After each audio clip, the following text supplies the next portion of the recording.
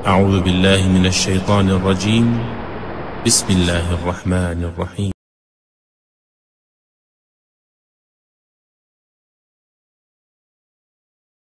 بسم الله الرحمن الرحيم. السلام عليكم ورحمة الله وبركاته. إن الحمد لله نحمده ونستعينه ونستغفره ونعوذ بالله من شرور أنفسنا ومن سيئات أعمالنا. Wa may yudlil falahadiyalah Ashadu an la ilaha illallah wahdahu la syarikalah Wa ashadu anna muhammadan abduhu wa rasuluh Rabbi syrah li sadri wa yassir li amri wahlul 'uqdatam min lisani yafqahu qawli amma ba'd. Bapak dan Ibu, Abu dan Umu rahimakumullah. Pertama-tama marilah kita panjatkan puji syukur kehadirat Allah Subhanahu wa taala atas limpahan rahmat serta hidayahnya pada kita. Alhamdulillah pada hari ini kita masih diberikan nikmat iman dan Islam. Salawat serta salam kita sanjungkan kepada Nabi besar kita Muhammad Sallallahu Alaihi Wasallam yang telah membawa risalah kenabian dan Alhamdulillah mudah-mudahan kita menjadi bagian dan untuk selalu senantiasa berada dalam sunnahnya. Amin ya rabbal alamin.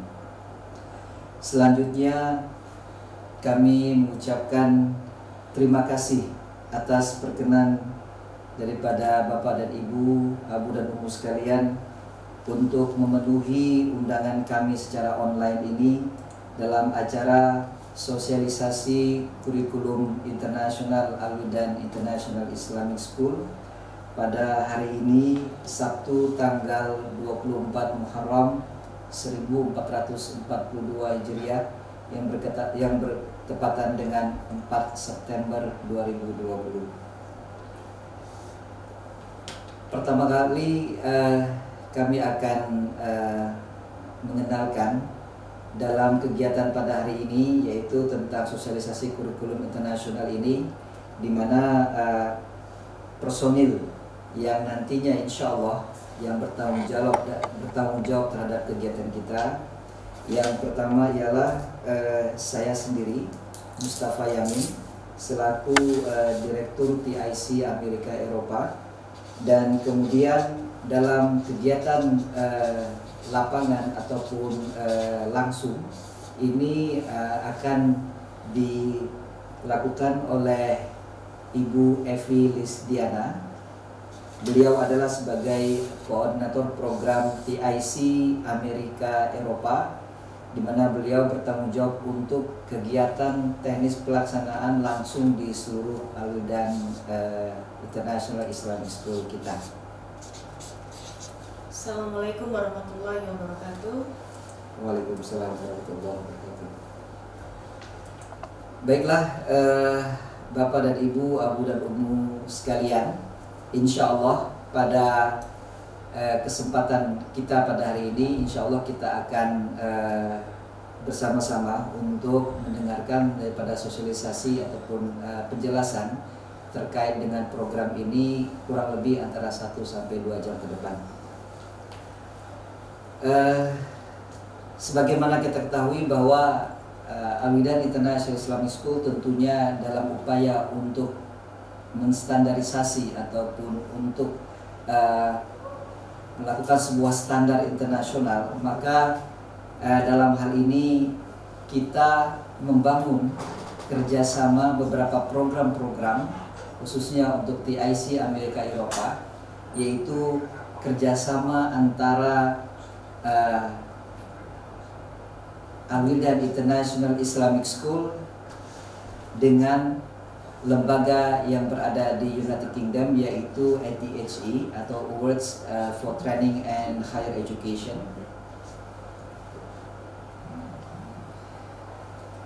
Jadi sebagaimana kita ketahui bahwa uh, di Al-Wildan International Islamic School ini terdiri dari uh, tiga program yang pertama adalah TIC uh, Amerika Eropa dan kemudian yaitu TIC uh, Middle East dan kemudian TIC uh, Markas. Nah pada kesempatan pada uh, kali ini saya akan mencoba menjelaskan uh, terkait dengan uh, TIC Amerika Eropa uh, dan beberapa program yang kita laksanakan dan diikuti oleh seluruh uh, siswa ataupun siswi Al-Bidan International Islamic School untuk uh, tahun ajaran 2020-2021 ini. Ya, jadi uh, kerjasama internasional antara AWI dan International Islamic School ini adalah dengan uh, tadi yang uh, singkatannya adalah Awards for Training and Higher Education, di mana ini adalah lembaga akreditasi uh, dari United Kingdom. Uh, di sini uh, perlu kami jelaskan sedikit. Jadi uh, kurikulum yang kita gunakan untuk kegiatan daripada TIC Amerika Eropa itu adalah kurikulum uh, dari UK di mana uh, program ini diakreditasi oleh uh, yaitu sebuah badan akreditasi di uh, Inggris dan kemudian uh, dalam proses uh, learning and assessment ya jadi untuk pembelajaran dan assessmentnya ini dilakukan oleh uh, online business school di UK Lalu kemudian di sinilah uh, kegiatan pembelajaran yang kita laksanakan di Al-Bidan International Islamic School. Dan apabila di kemudian hari nanti di antara uh, anak-anak kita ada yang ingin melanjutkan uh, pendidikan mereka di UK maka uh, melalui proses uh, learning ini uh, mereka bisa melanjutkan pathway-nya ke UK Universities ataupun beberapa universitas yang ada di uh, United Kingdom. Ya, uh, di sini perlu kita uh, kami sampaikan untuk beberapa program yang diselenggarakan oleh ATH ini, yaitu pertama kali ada academic courses atau program akademik yang mana uh, kegiatan ini terdiri dari beberapa program yaitu dari pre-university level dan juga ada pula di university level. Jadi untuk program akademik yang dilaksanakan uh, yaitu adalah program IGCSE atau International General Certificate for Secondary Education itu level uh, dari level 9 sampai dengan level 10 atau grade 9 sampai dengan grade 10 lalu kemudian nanti bisa dilanjutkan pada level berikutnya yaitu uh, dengan level 3 ataupun A level itu di kelas 11 ataupun kelas 12 Nah, seandainya nanti uh, setelah selesai di Al-Wildan, anak-anak kita bisa melanjutkan ke university level yang ada di Inggris. Di samping itu pula, uh, selain daripada program akademik yang dilakukan atau dilaksanakan di sekolah, namun anak kita juga akan mendapatkan program uh, peningkatan ataupun personality development yaitu soft skill di mana uh, dalam program ini dalam uh, di sini disebutkan vocational process yaitu yang kita laksanakan pada saat ini yaitu adalah MYM yaitu making yourself memorable.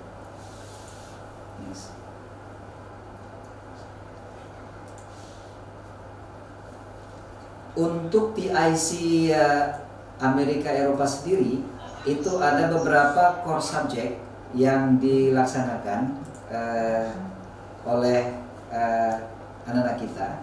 Yaitu yang pertama adalah uh, English, yaitu uh, di mana kita mengambil program uh, uh, Cambridge Assessment English, lalu kemudian juga program Mathematics, lalu setelah itu juga ada Science, dalam hal ini uh, bidang studi biologi, lalu kemudian untuk uh, di tahun yang sama pula, Ananda juga bisa mengambil untuk program Diploma in Business Management. Dan yang satu lagi yang yang di apa diikuti oleh anak kita yaitu program uh, life skill. Di mana program life skill ini sudah dimulai sejak uh, tahun ketujuh ataupun uh, grade 7. Nah, uh, apabila Ananda kita mengikuti program uh, eh, MYM dan program-program yang dilaksanakan oleh Inggris ini, maka nanti pada akhir uh, kegiatan ini nanti mereka akan mendapatkan uh, sertifikat yaitu uh, sertifikat yang uh, dikeluarkan oleh online business school di UK. Nah, ini dia uh, adalah uh, sertifikat yang akan diterima oleh anak-anak kita setelah mereka menyelesaikan uh, program daripada uh, pelaksanaan di Al Wildan. Next. Nah, apabila uh, anak-anak kita juga akan mengambil program uh, extended diploma, maka kalau dia mengambil program misalkan uh, bisnis uh, diploma in business studies, maka nanti anak-anak juga akan mendapatkan sertifikat uh, yang seperti apa uh, sertifikat untuk kelulusan ataupun sertifikat penyelesaian daripada program-program yang. Jadi uh, mata kuliahnya atau mata pelajaran yang diambil itu sudah diterapkan dan ini nanti akan bisa dilanjutkan di uh, United Kingdom untuk level berikutnya. Uh, di sini saya akan menampilkan ini adalah pathway yang diselenggarakan oleh uh, Alwidan International Islamic School di mana terlihat bahwa untuk program kegiatan uh, dari tingkat primary ataupun SD ini Ananda telah sudah akan mengikuti yang namanya program uh, eh, CAE atau uh, Cambridge Assessment English di mana mereka nanti pada tahun uh, terakhir mereka akan mengikuti uh, ujian standar daripada uh, level bahasa Inggris ini. Dan kemudian pada uh, grade 7 to grade 8 jadi mereka akan melanjutkan kegiatan daripada uh, CA ini untuk program bahasa Inggris dan selanjutnya menjalankan program uh, apa, uh, program Cambridge ya. Jadi pada tingkat SMP mereka untuk bahasa Inggris yang mereka mengambil program CAE lalu kemudian nanti pada uh, level 9 itu mereka sudah mulai mengambil core subject mereka yaitu mathematics, kemudian science dan kemudian uh, life skill ya. Nah, uh, pada tahun berikutnya jadi setelah uh, kelas 10 menjak ke kelas 11 maka uh, Ananda juga akan terus melanjutkan program uh, CAE ini dan kemudian juga akan melanjutkan program MYM tadi. Jadi program MYM ini sudah dimulai uh, oleh mereka di kelas uh, 7 dan 10 ya sehingga nanti pada saat kelas 8 dan kemudian kelas uh, eh, 11 ini telah melanjutkan dari program tersebut karena program MYM ini terdiri dari dua setengah tahun. Nah nanti setelah selesai di kelas 11 dan 12 maka mereka pun bisa apabila mereka masih ingin melanjutkan di program selanjutnya di universitas yang mereka merencanakan untuk mengambil program di uh, luar negeri maka uh, di sini nanti mereka akan bisa langsung di universitas yang ada di Inggris.